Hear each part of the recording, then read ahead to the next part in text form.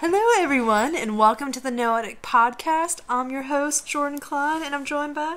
CJ. And tonight we're going to continue our seminar series on Michel uh, Michel de Montaigne's essays. There we go. Yes. And what are we going to be looking at today, Jordan? And uh, tonight uh, we're gonna this is gonna be probably a long burn tonight on uh, chapter 14 and titled the that the taste of good and evil depends for a good part upon the idea we form of them. And with that, I'll just hand the reins on over to you, CJ. Sure. So let's take a little time to digest this title because I think it mm-hmm.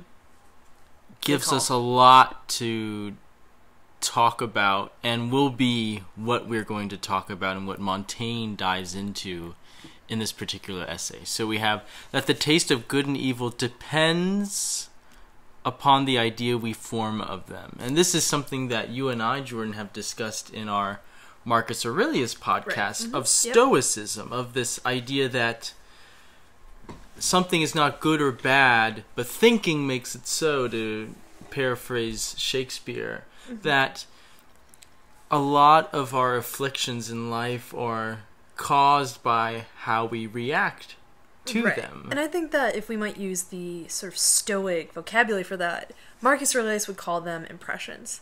Mm. So the events that happen to us that we sort of take in as data points, we form impressions on these events and these uh, sort of like this, this phenomena.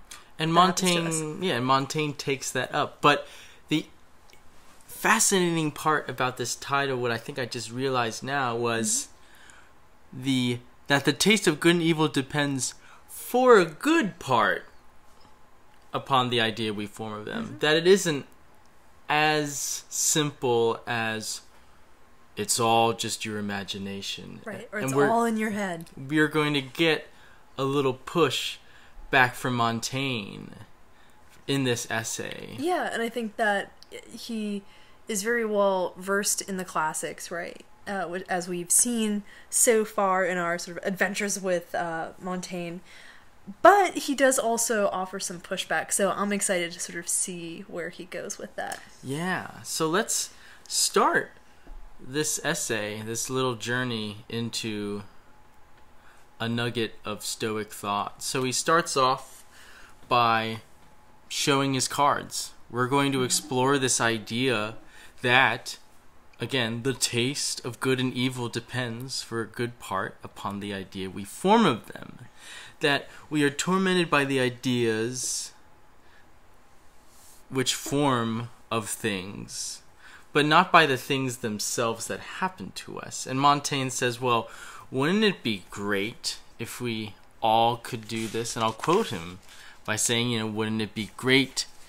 Point gain for the solace of our miserable human condition if this proposition could be established as true everywhere and in all things. Mm-hmm. That if we could just know that it's all in our heads and respond accordingly, then that'd be that'd be the cat's bag. Don't- Pajamas. pajamas, and we'd all be fine, and we could live in a wonderful world.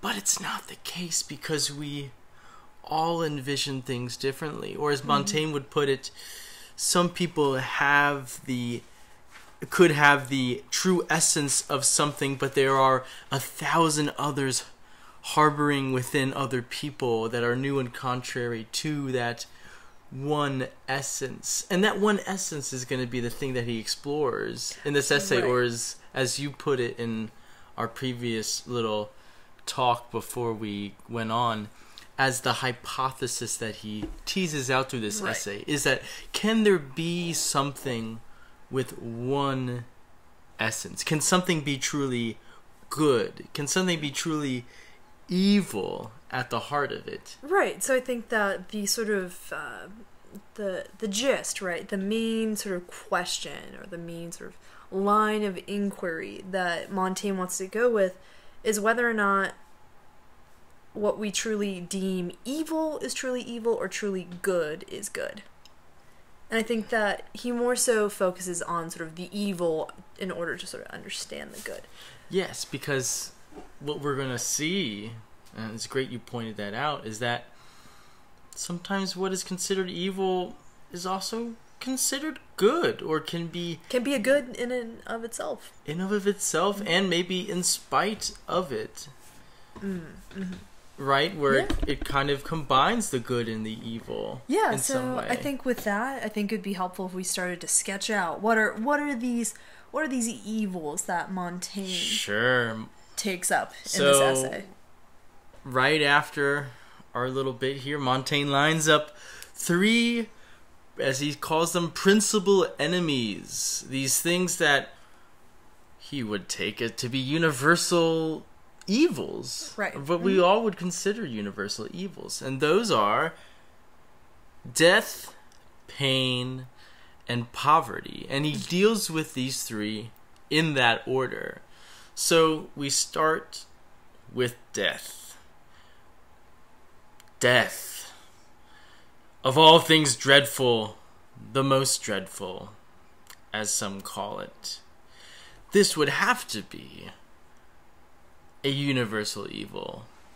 But Montaigne sees it and sees examples of that not being the case, mm-hmm. right?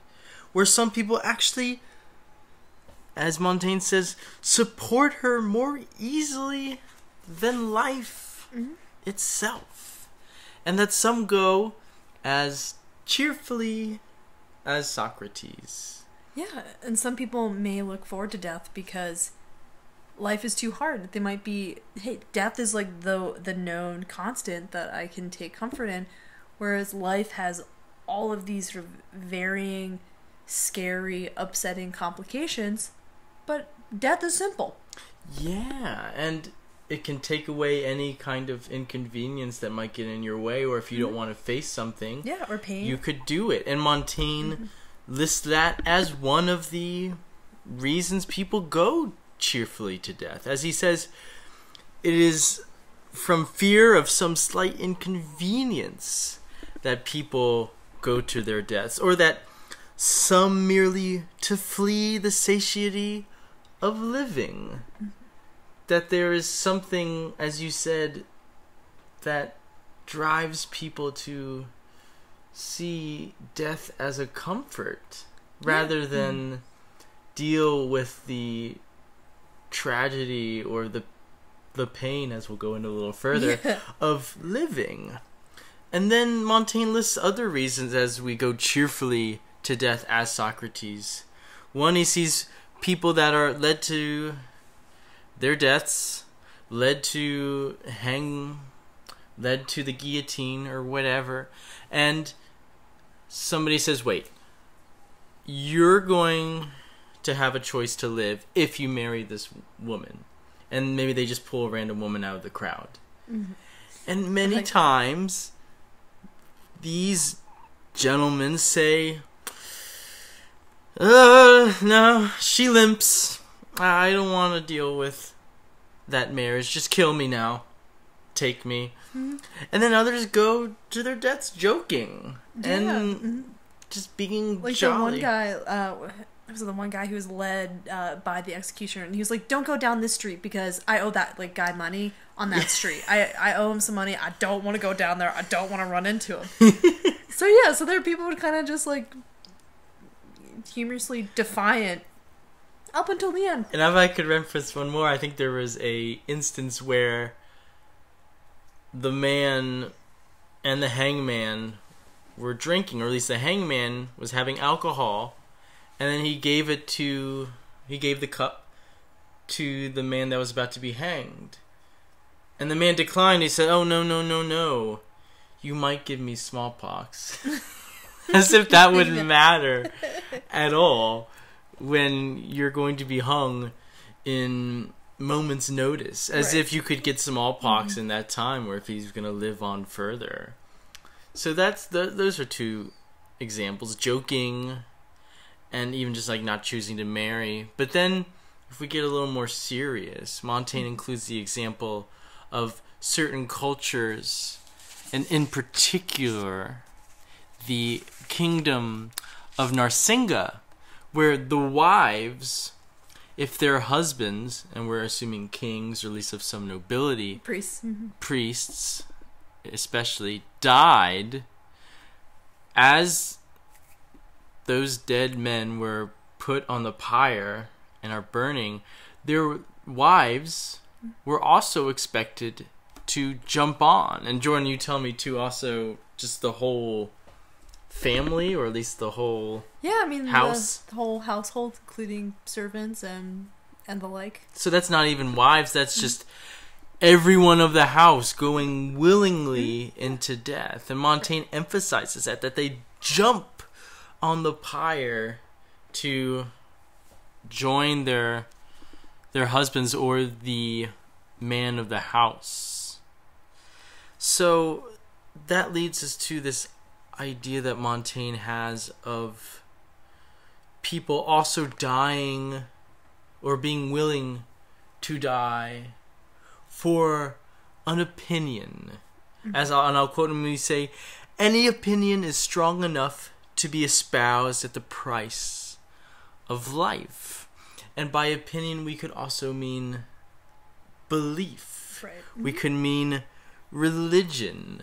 We could mean country. We could mm. mean law or some noble ideal that people can be willing to die for that. And Jordan, I mean, that seems rather obvious, I think, but it is something to note where, wow, people can really be willing to die, or that there's a cheerful exuberance or enthusiasm to run right to your end.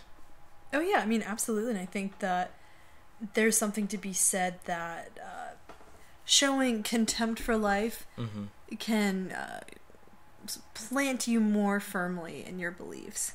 Mm. Like we saw with Montaigne's account of the persecution of uh, the Jewish population in Portugal, hmm where I think he said something to the effect of that instead of these people sort of, you know, shaking in their boots, um, that a lot of them opted to kill their own children because they held to their ancestral customs with like that much more tenacity. Mm. So what Montaigne seems to be pointing out here is this spectrum of death as a positive or as a good, Mhm. right? Where we have on one end dying for a slight inconvenience, and on the other for noble ideals, for religion, Mm-hmm. as those persecuted Jewish people. Mm-hmm. Yeah.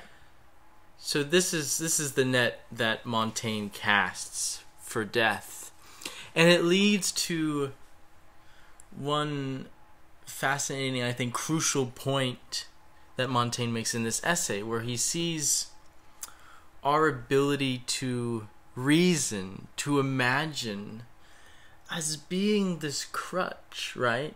And he uses the story of what was it? Of Pyrrho's pig. Okay. Yeah. So we have the philosopher, I believe, was it Greek or Roman philosopher? Pyrrho, I'm assuming Greek. Greeks. Mm, We We'll assume Greek most. Greeks. okay.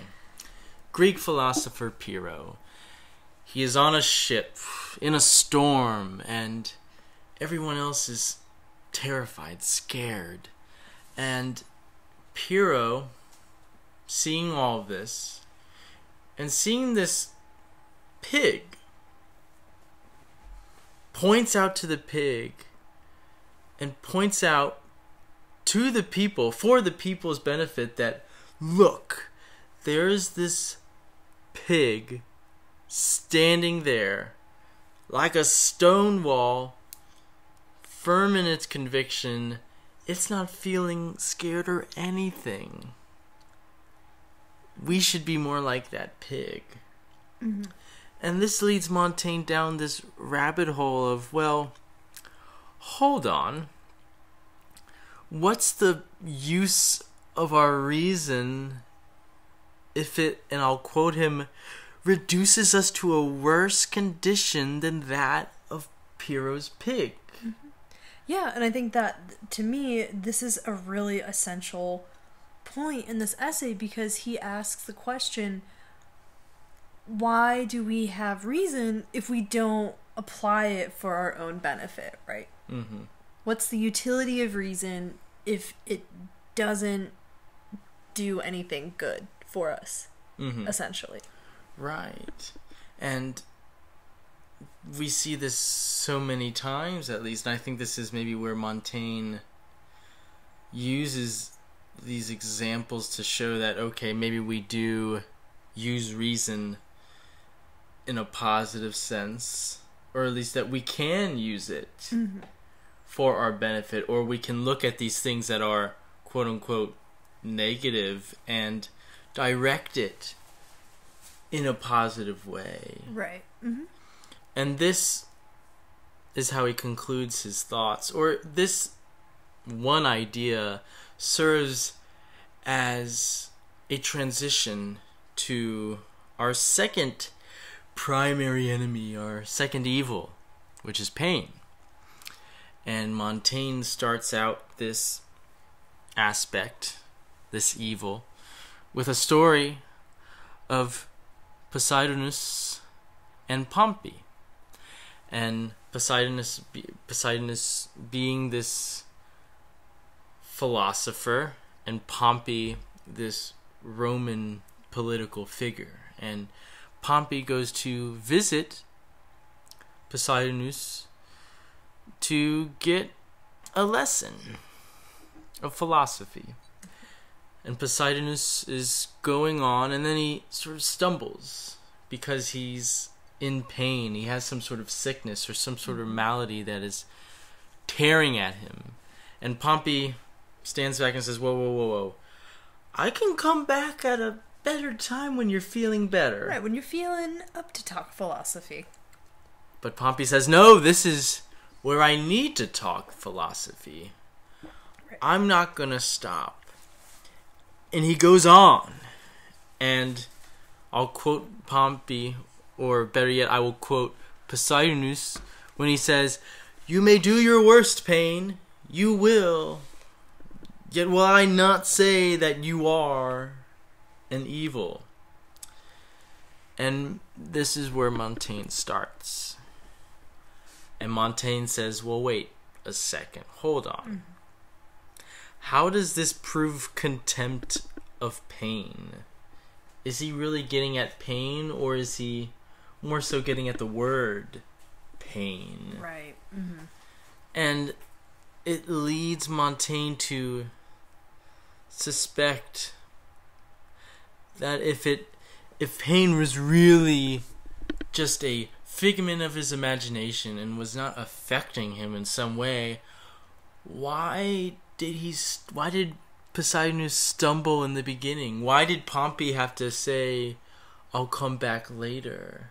If it was really just something in his mind and was something he could be completely unaware of. Yeah, and I think to Montaigne's uh, point, if a man studies philosophy, then he's sort of conditioned by reason, right? Mm-hmm. So if a man who is very in control of his reason and the possession of his mind and his emotions, why is he stopping mid sentence, keeling over in pain?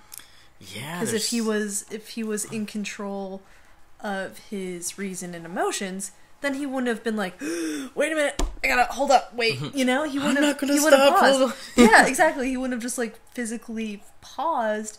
But at this point, Montaigne points out that there's a discrepancy between the mind and the body. Yeah, great, great point because he says, and uh, Montaigne's just gonna take off of what you said, and I'll quote him when he says, "Here it is not all imagination." With this example, it is not all reason alone that mm-hmm. is acting on Poseidonus. Right. it is that we still, and this is another crucial point, is that we still feel our senses are still at work. As Montaigne says, Pyrrho's pig is here in the same boat with us. It is true that he is not afraid of death, But if you beat him, he will rush about and squeal.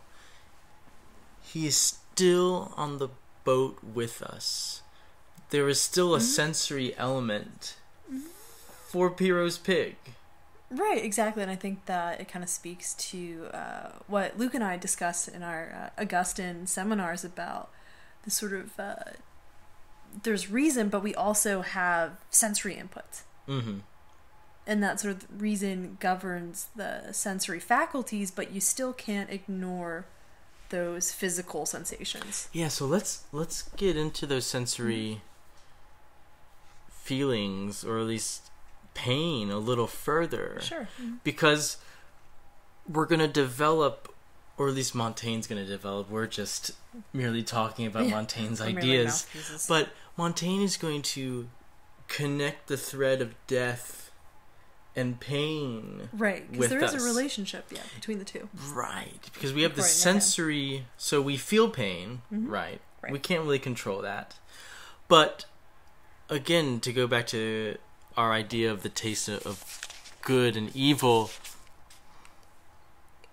depends upon the idea we form of them. We form this connection of pain to death. But what is the thing about death, though? Mm. Yeah, is that he essentially says that death is really in the mind and death is really in thought.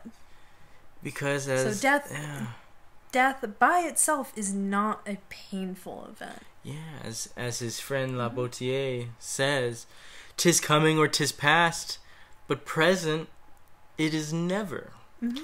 Death is only in our minds. When we experience death, that's it. We can't say, "Oh yeah, I died yesterday. It was oh, it's a great experience." You know, I, I, I, let me tell you all about it. Even though we do have those Right. accounts, at least of, "I went to heaven. Let me tell you what it was like." You know, Right, near-death yeah. experiences. But I think there's an emphasis there. Is near death. It's not Mhm. actually death itself. If I figure it out, then I'll I'll, I'll let you guys know. Please, please, we can have a whole other podcast about that. That'd be wonderful. But to go along with this idea of death, not of only being in our minds, since we can't, you know, bear the idea of death, you know, pain, I think, is is even more excruciating to bear Mhm. because it has that extra weight of this pain leading to my demise, Mhm. which is this thing that my mind twists and turns in that theater of the imagination as Right. this monster, as Yeah, exactly. this abyss, and it terrifies us. Right. So it's we can't we can't even handle the idea of death to begin with. Like that's already difficult. And then we get so worked about about death that we can't even begin to entertain any associated pain that might come with it. hmm But what's really interesting is that um, do you remember what Montaigne says about the pain associated with death?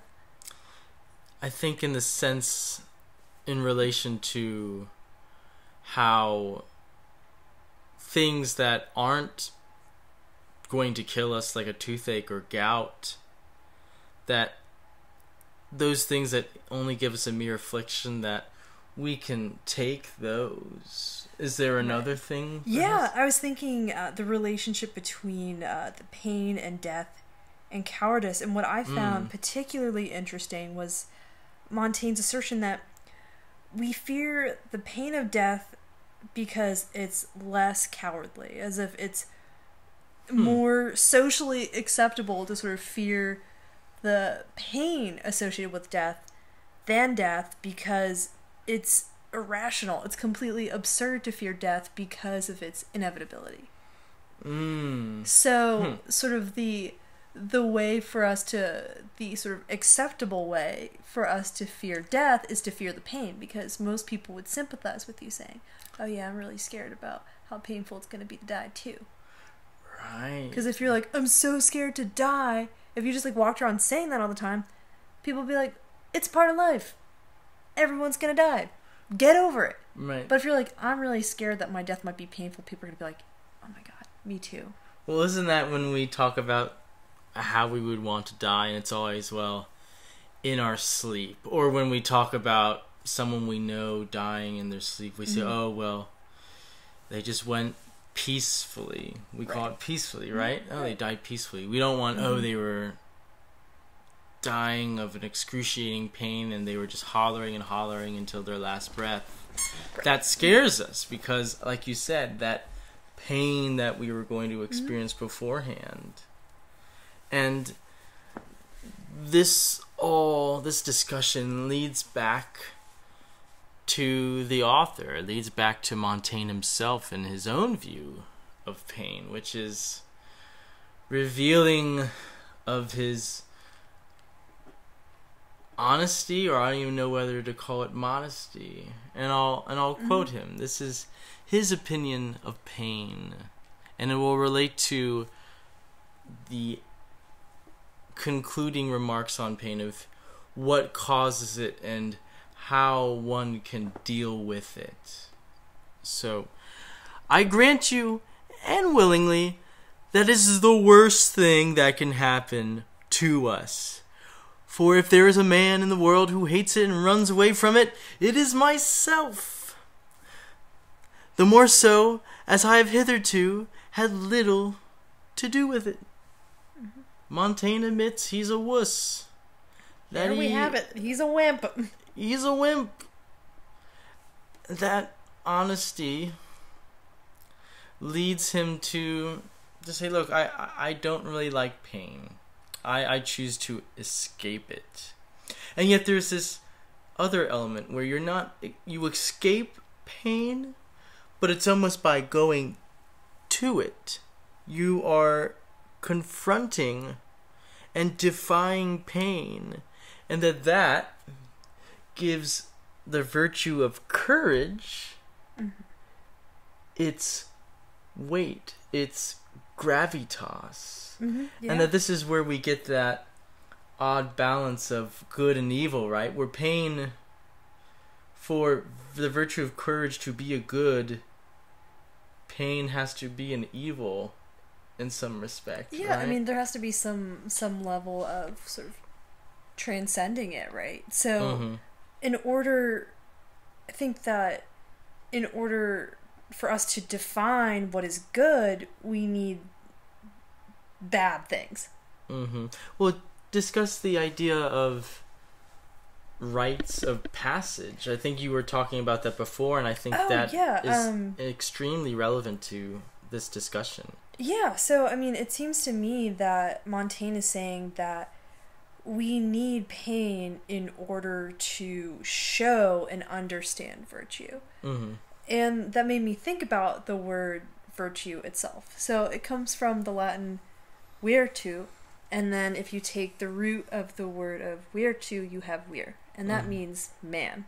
Okay. So, in the sort of Roman traditional mindset, in a lot of other sort of ancient cultures, you had this rite of passage. You had to have, and in order to have a rite of passage, it was usually a trial of ordeal or affliction. So, this idea that you needed to, ex- like, literally experience growing pains in order to be considered a man in Roman culture. Mm. So I think that even though Montaigne is very far removed from it, there's still that sentiment of you need pain and affliction and you need adversity and difficulty in order to understand what honor and what virtue really means Mm. and the full weight and the full merit of it. If that makes sense. That makes perfect sense. That's really well put. And I think I want to underline it Mm-hmm. and then put an arrow to a quote from Lucian that Montaigne uses in this essay. And it reads An honest deed is sweetened by its cost.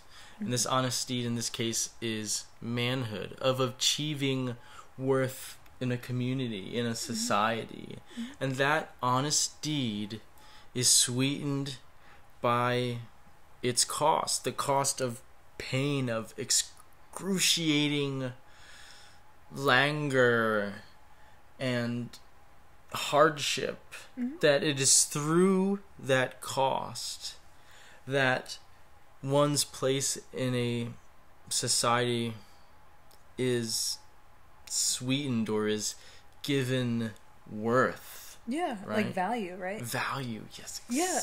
And what's interesting, I think, too, with this essay with Montaigne is that women are actually sort of included in this sort of ordeal, right? Because he says that, oh, well, men men show this through through war, like warfare and these sort of you know sort of like martial sort of you know exercises, etc. And he says that you know women do it too through childbirth. mm-hmm. And I think that uh, one example that that struck me, and it's really only just sort of a passing footnote, at least in my translation, but Plutarch mentions the wife of this uh, Gallic warrior named Sabinus, and the uh, wife named um, Eponina or um, Empona. It sort of varies from translation to translation. She hid her husband uh, because he led this revolt. It was unsuccessful. They literally went underground, according to Plutarch.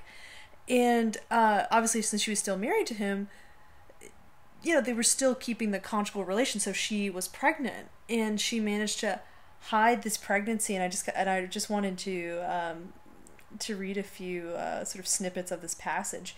So she would go, she would resur- little resurface, hang out with friends and family and stuff like that to keep the sort of facade of normalcy while she was sort of keeping her husband secreted away. Mm-hmm. And uh, when she was pregnant, she would go to the bath with her friends and she would rub ointment to make herself sort of like swell and puff up all over so people wouldn't notice her, you know, swelling belly. Mm. And um, so it says, so once it was she finally was in labor, she quote she endured her birth pangs completely alone, like a lioness in a den, descending into the earth to rejoin her husband. She brought up secretly the male cubs that were born. So there's that. So Plutarch even sort of like using that that language of that that imagery, right? That you have that sort of that that ferocity of a woman giving birth with absolutely sort of no help like like a lioness. So Mm. it's sort of fascinating that Montaigne uses this description because it shows that women can in their own way be courageous too. Yeah, but then there's this other element of childbirth where, at least in our Western culture, we view it as this painful ordeal, which it is, but with these examples, they do it with such poise and Mhm. going about their day that it isn't the okay, we have to have much medication and pain relievers as possible in order to go through this. Mhm. And this makes Montaigne wonder okay, so why, besides childbirth, why do we suffer from pain so much? Why do we have an impatience to it? Mhm. And Montaigne's conclusion arises from the fact that, and I'll quote him, we are not accustomed to find our chief contentment in the soul, and that we do not sufficiently rely on her, the her being our soul. So we have two things going on here. We got the body, Mhm. which has one bent, right? Just as Montaigne said. Pyrrho's pig, it's gonna get hurt. It'll squeal. Mhm. We're gonna get hurt, and our body's gonna react. But then we have the soul, or as Jordan put it, the imagination. We have reason, which takes on various guises, various forms. And that's where the problem lies, right? Mhm. That that we can again it goes back to Pyrrho's pig example, right? That we can reason and that we can Right, mhm. imagine is that where we have our problems. So Montaigne's solution then is okay. So if we have this bent, then perhaps we need to study our own souls. We have to know thyself. We have to understand how we react to things in order to put it under control using our reason to maybe have that initial reaction of oh my god oh my god but then say wait hold on it's not like that. Turbulence doesn't mean that we're going to die. It just means there's turbulence. Relax. And in knowing how you react and adjusting it accordingly, you can have a better viewpoint of life. And I think we were talking earlier about how maybe these essays in of themselves are like a way for Montaigne to study his own self, right? Mm-hmm. Yeah. And that is one of the benefits, at least, of writing this out in paper, at least for him. And maybe it's something we can do whether, I mean, we journal or we just think about it, you know, just to understand how we react to things. Right, and I think too that for him, writing is a way of him sort of using reason. Mm. In the right, good and positive the, int- sense. yeah, the intellectual pursuit of using reason and writing and sort of conditioning sort of his mind and his soul. And, Like Mm. this is sort of in a- way it could be a training for him. So that almost goes to that point that you know the taste of good and evil depends on your own reaction to it, Mhm. and that you can fine tune that reaction, which we learn from Marcus Aurelius that we can take that and work with it to our benefit. And from there, I'm going to pass the baton to Jordan, and she's going to discuss pain a little bit further. Yeah. Okay, so we'll, and then take we'll yeah, and then we'll get to poverty to finish it all off.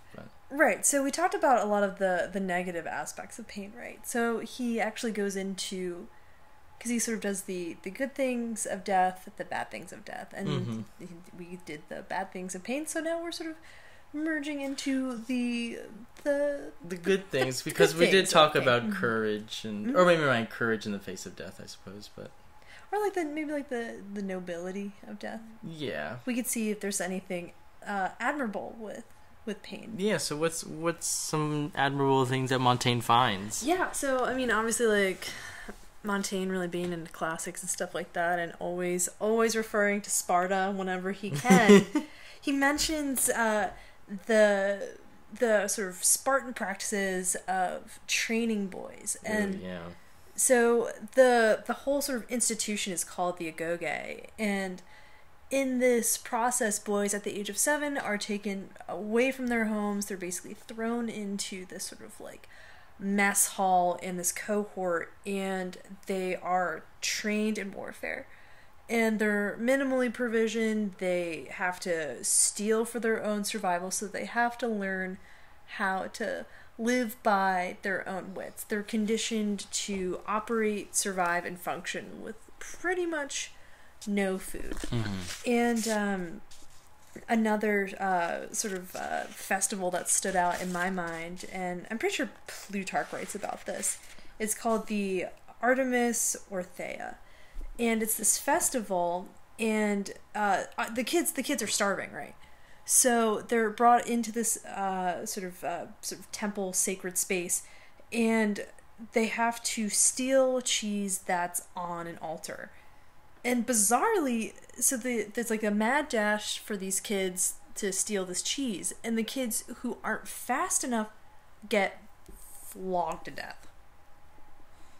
Which you think, and especially in our our modern mindset, we think this is absolutely crazy. Like this is completely inhumane, but this is just how the Spartans operated. So is that showing pain as a rite of passage, like we did with the? hmm Yeah, Okay. so I think it's pain as a rite of passage, but I also think that it sort of ties into this sort of martial idea of uh, disciplina, of using training and teaching to sort of habituate yourself to learn how Mhm. to withstand these hardships. Now these are very obviously very extreme cases, right? Of of pain and hardship, but it taught these um, kids how to survive under very extreme conditions Mm-hmm. in sort of their their military careers. So I think that's one sort of aspect that we should think of is that pain pain is an excellent teacher, right? Yeah, no, and it can also be an excellent way to ruse your enemy, or at least to convince people, right? At least with the example of Scaevola. Yeah, so um, it's one of like one of my favorite like figures ever from like the early republic. So this guy uh, Mucius Scaevola wanted to end this blockade that their neighbors placed on them. So he went to the the senators and said, "All right, I want to end this once and for all. I want to kill this Etruscan king."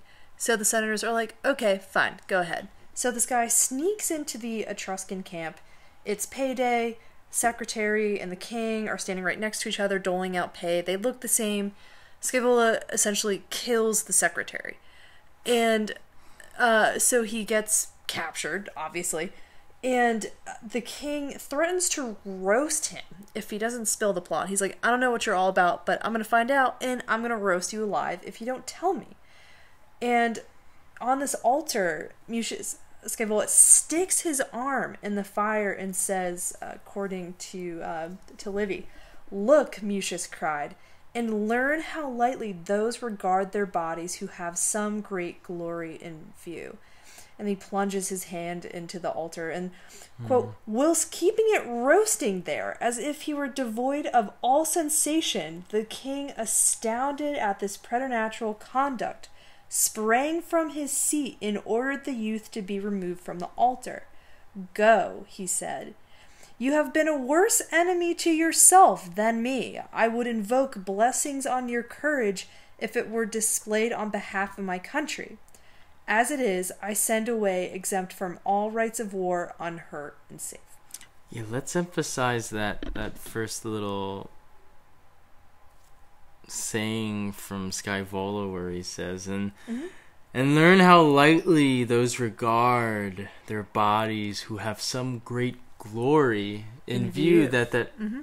sense where pain can be a benefit when one has great glory Yeah, in pain, view and pain can pain can be ennobling, right? hmm That's that's the interesting part. and can lead one to feel mercy or to grant clemency to an Mhm. individual if they show that sort of valor. Right. But I'm wondering if that great glory could have been death as well, right? And then maybe Right. that ties into the idea of, of dying for one's country or for one's emperor or one's belief. Right. And I mean this this king says, you know, I would I would I would have bestowed blessing on you if Yeah. if you were representing, you know, Etruria. Yeah, and I think I think it's important to note here how all of these are tied together: death, Right. And so pain pain, pain, poverty. be you know. Yeah, and pain can be aggrandizing and uh, in a similar vein he he said, you know, Montaigne again pivots and he's like, now it's the ladies' turn. Yeah, because we've been talking. I mean, granted, we used the example of the wife, of Sabinus, right? right? But we Mhm. haven't really talked about women much. And Right. Montaigne says, "Hey, Mhm. I'm equal opportunity, baby."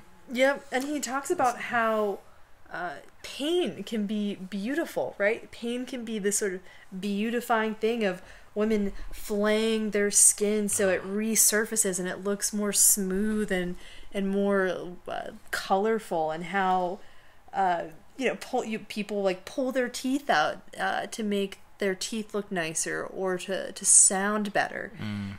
and there's that really fascinating you know uh, he mentions women uh, you know corset training and you know probably cracking their their rib cages by like trying to obtain like a nice you know hourglass you know figure and just these sort of torments right that people subject themselves to in order to look good. And what's so fascinating is that for a lot of people fear is very minimal when beauty lies on the other side of it Hey, that great glory, right? It's so That great it's- glory, and, It's, like, so wonderful you mentioned that Scaevola quote because I think it really works well with what you're talking about, what Montaigne's discussing. That that look how lightly I regard my body, or look how lightly mm-hmm. I regard this pain that I have to go through in order to achieve this great glory of beauty. Right. And I mean, That's we see that so today, good. even with people, I don't know, doing crazy stuff like waxing. Like, that really hurts, but you look good. I mean, I don't know if you've ever watched, uh, there's like this TV show called like Botched, and it's about how people are so willing to risk literally their lives by going to you know Tijuana to get you know an augmentation done or mm-hmm. liposuction and it goes horribly wrong but people are still willing to risk that in order to look good. For that great glory right? Of the beautiful body. Yeah. Which is like super fascinating. And then he even talks about how self mutilating also right? Sort of the mortification of the flesh can be this uh, sign of goodwill and assurance. And he calls christianity out on this especially in the middle ages yeah especially of wearing you know people wearing hair shirts and the flagellation mm-hmm. and the mm-hmm. constant um yeah just like whipping yourself and like cauterizing wounds and people like stabbing themselves as like a sign of goodwill yeah so and, what what ties all of these together? I, I think it might be this idea that Montaigne touches on with belief, right? That yeah, mm-hmm. I think that a lot of it has to do with the will, right? Is that mm-hmm. belief is a very powerful factor when it comes to enduring pain. Bold and incalculable, as he says. Yeah. Mm-hmm. Absolutely. And there's that, yeah, there's that little level of kind of um, mind over matter, right? Mm-hmm. If you really have your mind set on something, then the physical pain is, is secondary. Mm. So that sort of closes off the section on pain, right? But there's but, one, oh, wait. however, comma, there is one last thing because he talks about he, he deviates a little bit, right? Because he talks about he grief. yeah, as as he can be expected to deviate. And he mentions that grief is the most difficult pain. Mm. And I thought it was interesting because he sort of counters the very active uh, pain of, you know, beautifying yourself or risking physical harm for this greater glory with grief because grief is not something we we actively search for right it's something that that comes to us and he says that there's hardly any mischance that cuts one more to the quick than grief. And he talks about a little bit about the the loss of some of his infant children and and how difficult that is. And Montaigne admits that he's too embarrassed to admit at the the misfortunes that he's sort of shown this like disdain towards. And I think that he's saying that usually that's like when it comes to like grieving the family members or lost friends. Yeah, and there's even one would say if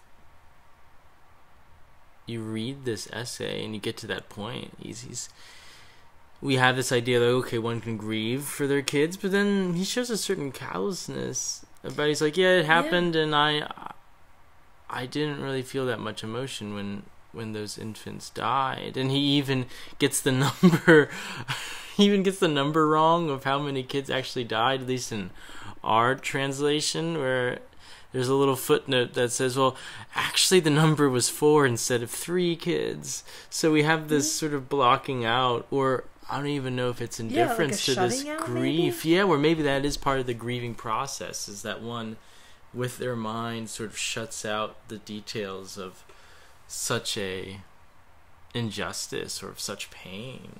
Yeah, and it's interesting because he talks about how he sees a lack of children as an equal fortune as having a lot of children. Mm-hmm. And with that, he, you know, essentially ties a bow on this sort of segment on pain, and we see him start to sort of shift gears into poverty mm-hmm.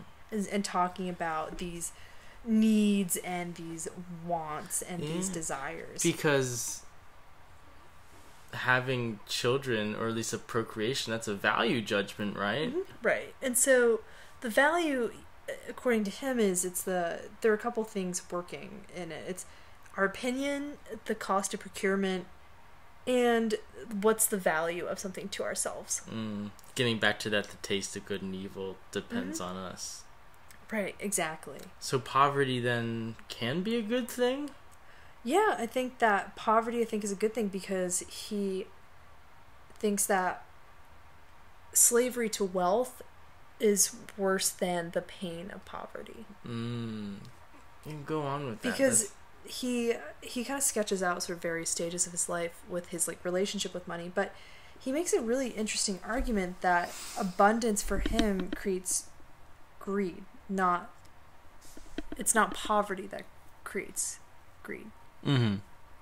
because if you think of it i mean think about how you know a lot of how generous you know clergy are you know what i mean or like if you think about like monks or friars and they're you know what i mean like typically those are people who um during that time were you know did a lot of you know work with charity cases Mm-hmm. but they themselves took vows of poverty right so we have this again so there's the most so the people that have the least are were probably the most generous Mm.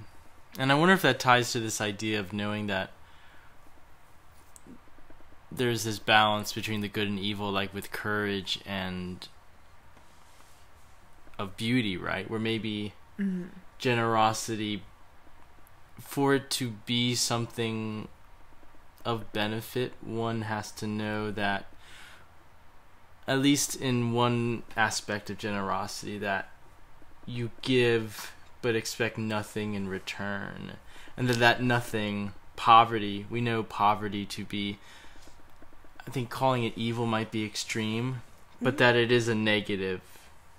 That one does not seek out to, at least a rational human being does not seek out to not get something in return, but Mhm. to give, poverty also has to be a good thing because you're giving away and you have nothing. But then there's that fact that, oh, there's nothing, he's getting nothing in return, that's sort of a negative, and that Yeah, I mean, I could see that, but I think that yeah. there's something to be said about the generosity of someone who has less is more impressive than someone who has a lot of material wealth. And why is that? I mean, because isn't it? In Montaigne's view, I guess. oh, I, I mean, and in your view too, yeah. I mean, Yeah, it- I mean, where we all are kind of combining Montaigne is us and Mon- and we are Montaigne. Yeah, I mean, I think that Montaigne essentially says that uh, he uses the, um, I think Dionysius, the uh, the uh, Syracusan tyrant, right? He says Yeah. that it was really gracious of him once he learned how to stop hoarding. Mm, like hoarding people's treasure that they just have buried. Um, so I would say in Montaigne's view that it's just considered more gracious to be less selfish. mm, So I think that's why that if you have less, it's even more impressive to display that much generosity and that much graciousness towards someone when you have less. If that answers your question. that makes perfect sense. Perfect. So Montaigne is uh, almost a financial planner Yeah.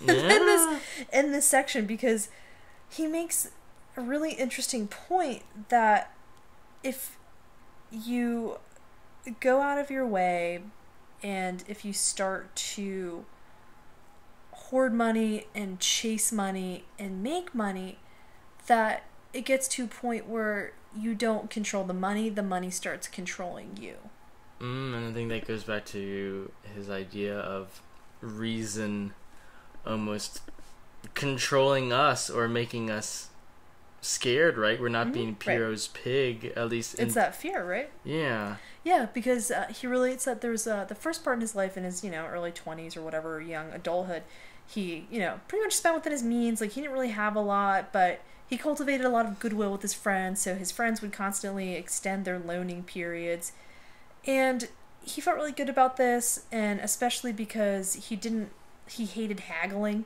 Mm-hmm. and I thought it was kind of funny because he was just like haggling doesn't agree with me. I hate doing it. I always write offers down on pieces of paper, which is obviously not good because I'd always get rejected. But it was fine. So for him, not being in the best financial shape, he was pretty pretty happy with that. And he said that it wasn't until he got older and started acquiring more wealth that he became more miserable because he became more concerned with how to hold on to it, how to keep it safe, and he became extremely suspicious of anyone Mm. around his money, who's handling his money. And that especially happened to him while he was traveling on the road through, I think, in Germany and Switzerland and Italy and the like, um, where he said that, you know, sort of more money, more problems, right? Yeah. Yeah. So for him, he just felt almost sort of, um, I guess, burden in a way to uh, to his wealth. And then it was on that trip where he learned to spend money in a more moderate way. And he gives a couple of uh, stories of his friends, you know, handing over wealth to their servants, or one friend or someone he knew traded you know, spots with a poor friend, and the friend in exchange let him live in, you know, his own manor that he had previously owned, you know, kind of like for free with room and board. And he was like, Yeah, it's great. I have a place to, like, you know, lay my head, but I don't have to worry about the day to day operations of, you know, running this this huge estate. And he, in effect, says that, okay, money's great, but you need to learn how to not be so attached to it because then you just kind of hoard it and then you do these ridiculous things like preferring to pawn your own clothes or sell your horse in order to avoid dipping into your own purse. So he Mm. says that the generosity of spirit with your finances and like with your purse strings are is the the best approach.